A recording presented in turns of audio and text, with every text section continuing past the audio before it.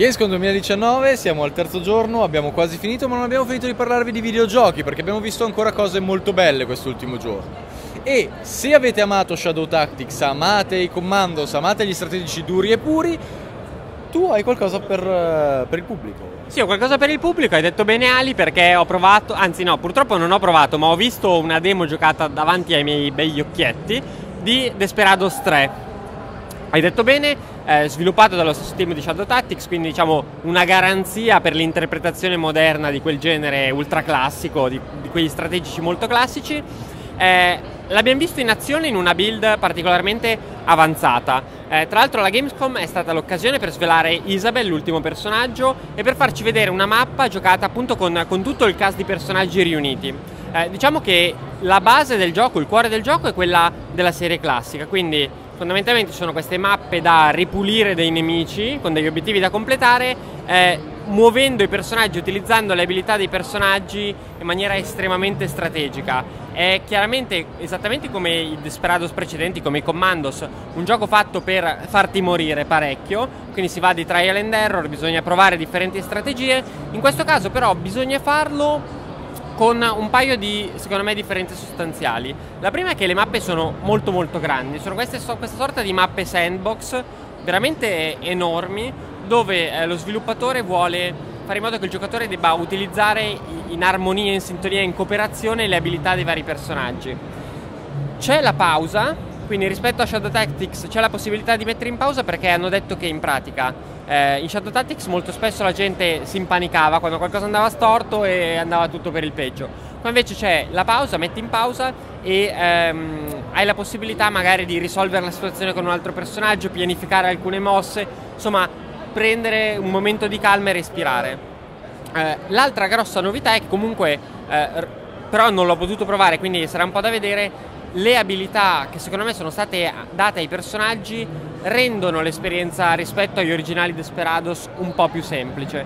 Per esempio questa Isabella che, eh, che è stata appunto annunciata qua durante la Gamescom aveva la possibilità di eh, controllare con ha una cerbottana, spara un colpo di cerbottana e tramite questa magia del sangue controlla un personaggio dei nemici, quindi può, non lo so, farsi aiutare a prendere un oggetto, sparare a un altro personaggio e così via. In più ha quest'altra abilità che le permette, molto, molto carina, di unire due nemici, unire il destino di due nemici, quindi non lo so, se ne ammazzi uno ammazzi anche l'altro. Ah, se ne butti uno in acqua, anche l'altro soffoca, anche se tipo il potere di Dishonored 2. Bravissimo, bravissimo E in più ha anche un gattino, anche un gattino che può distrarre i nemici, che può controllare e distrarre i nemici.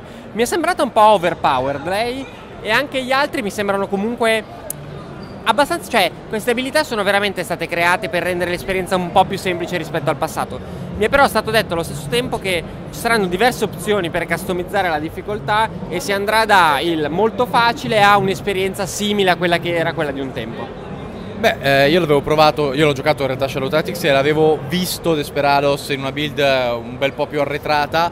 Il fatto che l'abbia reso più accessibile è perfettamente sensato perché obiettivamente Shadow Tactics era molto hardcore, però era bello anche per quello. Spero che non abbiano bastardizzato le meccaniche proprio per venire incontro al pubblico più ampio, ma sono abbastanza fiducioso perché ti dicono che è stato stratificato così tanto, non credo che ci siano preoccupazioni.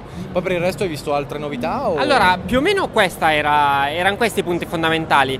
Eh, il nuovo personaggio con le abilità e il gioco, diciamo, di squadra. Queste mappe molto grandi, poi mi è stata fatta vedere in brevissimo una mappa che loro chiamano eh, non di combattimento, una mappa in cui bisogna usare le abilità sociali dei personaggi, quindi si è in città, a meno di non fare grosse cagate si possono usare i personaggi in borghese normalmente e quindi ci sono tutta una serie di altre eh, missioncine di spionaggio, di infiltrazione, diciamo che tendono a dividere un po' il gameplay tra queste mappe più stealth e quelle più di combattimento. Si vede molto nelle mappe stealth l'influenza di Shadow Tactics, cioè si percepisce che hanno ripreso parte di quel lavoro lì, mentre le mappe più di combattimento aperte ricordano i vecchi Desperados, queste hanno un po' di Shadow Tactics. Però, guarda, l'ho trovato un titolo molto, molto interessante, cioè loro sono bravi, hanno fatto un bel lavoro con Shadow Tactics, sembra che, che stiano facendo un bel lavoro con Desperados, è interessante eh, l'ambientazione da fine del Far West, con i treni che arrivano, i tycoon che investono nelle città.